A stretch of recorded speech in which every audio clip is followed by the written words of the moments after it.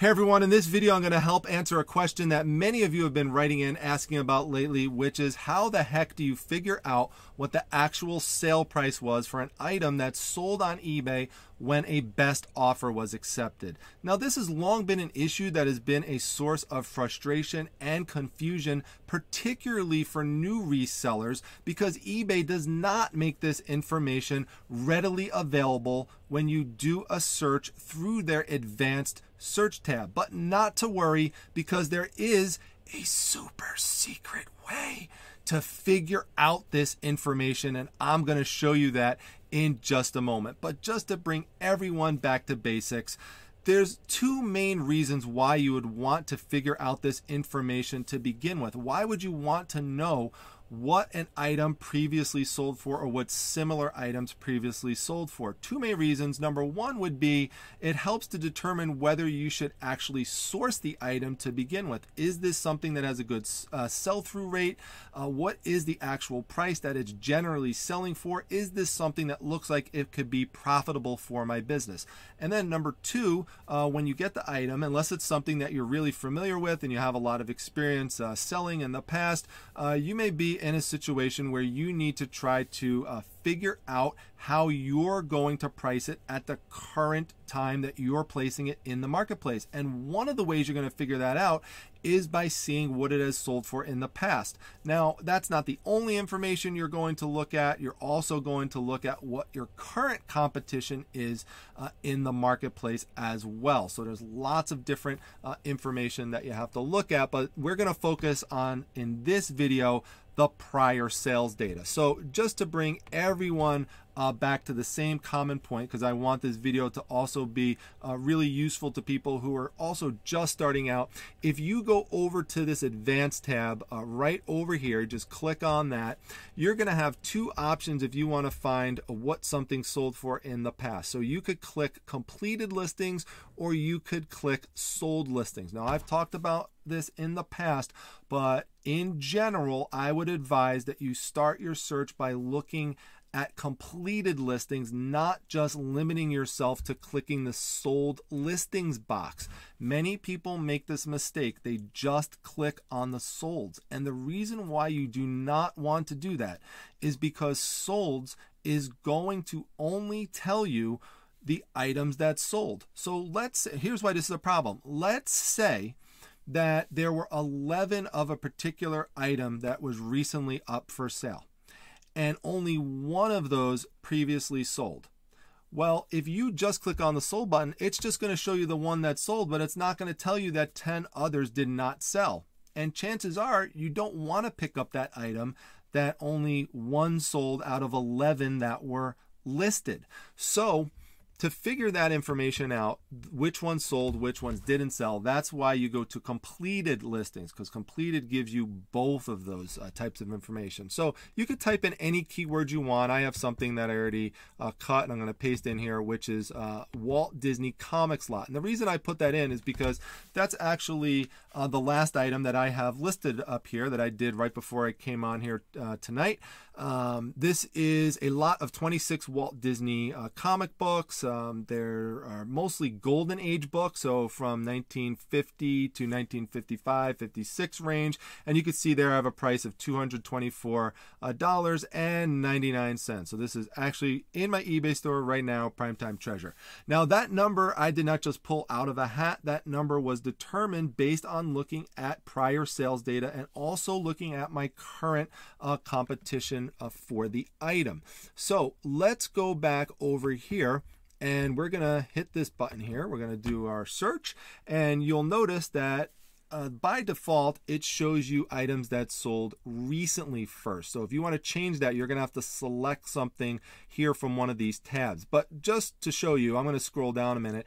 And this is on desktop, so keep in mind the app uh, will function uh, differently sometimes in terms of you know what colors they show for the font of the prices. But uh, for desktop, the way it works is that if it didn't sell, uh, the price will show in black font, and that's what it looks like. So black colored font right there. So we're going to scroll down. So all those things didn't sell.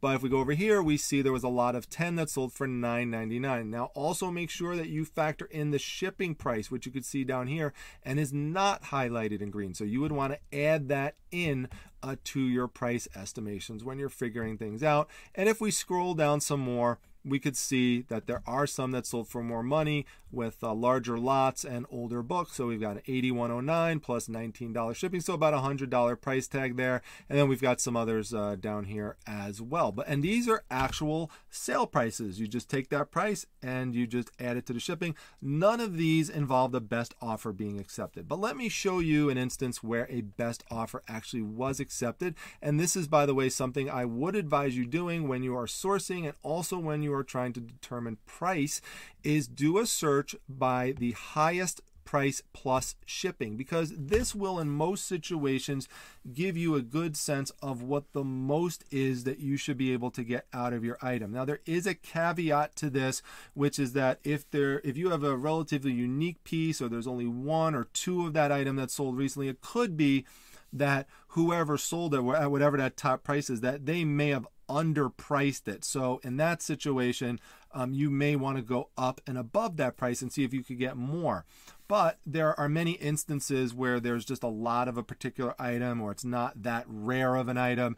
And so when you're in that type of situation and you generally see a range of prices, chances are that the one that's at the top of that range is the max that you could get out of it or close to the max uh, depending on uh, condition. So uh, we're going to scroll down here and you're going to see that there are some big sales uh, $2,100, $1,000, but we're going to scroll down some more to get something that's closer to what I actually have uh, listed.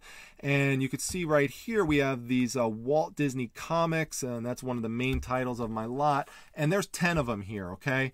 And um, it looks like right that it sold for around $300 because there's a $300 and then you could see there is a slash through it plus a 970 so how much did it actually sell for? So if you just limit it to this ebay does not uh, tell you this. Now i'm just going to stop for one second and just in case anyone from ebay is watching this please please please the next time you put out a seller update or you have a meeting about you know something you could do for sellers could you please just get rid of this feature where you don't tell people what the actual price was? I know you want to indicate in some way that a best offer was accepted but just indicate best offer was accepted in some way put the original price and then put the sale price. That should not be that complicated to do. Uh, so anyway um, in order for us to figure out uh, what the actual sale price was, uh, we're going to have to click on the item. Uh, we're going to have to go inside. So we're going to see uh, see original listing. So we're going to click on that. And we're going to go down right there. And um, just to make this a little bigger here so you could see a little bit better. Uh, there we go. There's Donald Duck. And look at that, Huey, Dewey, and Louie in the house. First time on the Primetime Treasure Hunter YouTube channel. So uh, I want to say hi to them. There you go, little surprise appearance. Anyway, we're going to scroll down a bit. And there we go. We've got the eBay item number. So we just want to snatch that. We'll grab that. And um, let's hope no one sees us grab that. So we're going to get out of here and we're going to go to a site called Flipper Tools. Now, this is one of several sites I'm going to show you just so you have a few options. And if you just go to Google and type in Flipper Tools, you will see it's automatically going to bring you an option here that says eBay Best Offer Actual Selling. So you just click on that and it will just tell you the actual price. All you have to do is put the item ID, or you could put the URL number into it as well. So that's the web address. But we're just going to put the item number in. We're going to hit OK. And then we're going to scroll down, and voila, just like magic, there it is, $105. Now, this does not include the shipping, by the way, but that's a big difference from if you were assuming that these sold for uh, where is it over here? That if you assume that these sold for $300 or close to it, it actually really wasn't anything close to it. You're at this $105 price point. So uh, that really, really makes a big difference in terms of comping things. Now, uh, another place that you can go um, that's also uh, much easier now is Terapeak. Now, Terapeak um, used to be a separate site from eBay, and technically it still is up until uh, March 31st. Uh, you could see it right here. Uh, but eBay purchased uh, Terapeak and has been absorbing uh, Terapeak within eBay. So pretty soon, and there's going to be a point when people watch this video where this site is no longer even up anymore, and it is already integrated within eBay. Um, th this just happened recently. But what you uh, would do if you just went to the main Terapeak site is you would just type in what your term is, and now I know more what the item is, so I can narrow it down. So I put in Walt Disney Comics lot, and I just added the word 10 just to get to my specific item. And if you hit search, and by the way, make sure you adjust your range here, so you could just uh, search for a year, or you can narrow it down however you want to. But I'm just going to hit the search button, and we're going to scroll down, and you could see that it's going to show up right here. There's the item right there. $105. So it's just going to straight up tell you the price. It's not going to mess at all with telling you what the original price was. And then it's also going to tell you what the shipping was for it. Um, now, if you go within eBay itself now, so if you just go to Seller Hub, and right now, if you go over to the Research tab, uh, you're going to see there's a new uh, feature up top. It says Terapeak Product Research. And here I already have it pasted in Walt Disney Comics Lot 10. And you just hit the search button and we scroll down. And where is it? Here we go. You just scroll down. There we go. $105 plus $26.74 uh, shipping. Uh, so, you know, this used to be a pain in the neck uh, logging into the actual Terapeak site when I was out there sourcing.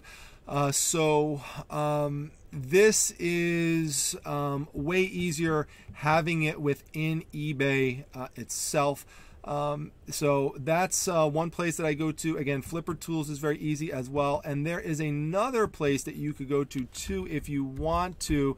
Uh, it's way easier to do it on the app. I'm not going to demonstrate it here because it's the same thing I showed you um, in uh, in the other tabs. It's the same exact type of process. But just go to sellhound.com uh, and log in on your app and type in the item, and it will give you um, prior um, sale information on that as well. So that's just another place that you can uh, go to. So all different types of sources here uh, that can help you out. Um, I hope that you found the information uh, useful and hopefully that answers all the questions that have been coming in recently about it.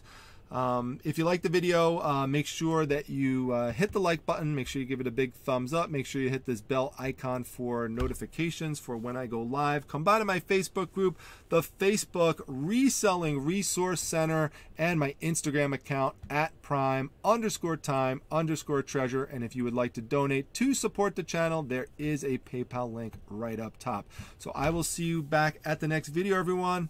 Take care.